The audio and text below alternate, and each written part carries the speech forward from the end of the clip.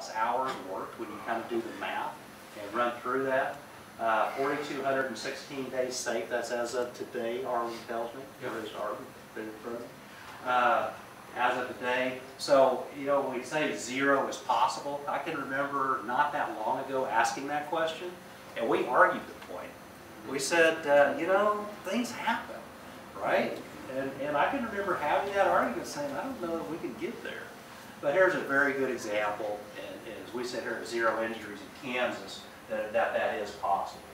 And then, uh, where they provide service to about 3,300 customers, and then dealing with extremities. And, you know, um, I'll just put it up here, Goodland Operations Group is the uh, people we want to recognize this year. I don't know how often you guys watch the weather, but uh, anytime there's cold and there's always snow in Goodland, Kansas.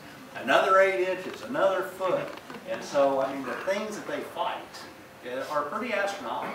And they drive a lot of miles. There's, there's uh, four of them in the group. I put this kind of up here as well, but- but they do have a lot of rattlesnakes out in that area as well. So it's not just the weather that they have to deal with, they have some unique uh, situations out there. So congratulations to Goodland Operations Group. Uh, We're taking some video for them because they can't be here today. So congratulations to their group, we appreciate that. Uh, Chris Bauman is the operations manager, Uh, Chad uh, Chad Hanovic is the lead ops tech, Troy Manis, and and uh, Robert Whitcomb. So we appreciate the effort that they've done and uh, thank them for that.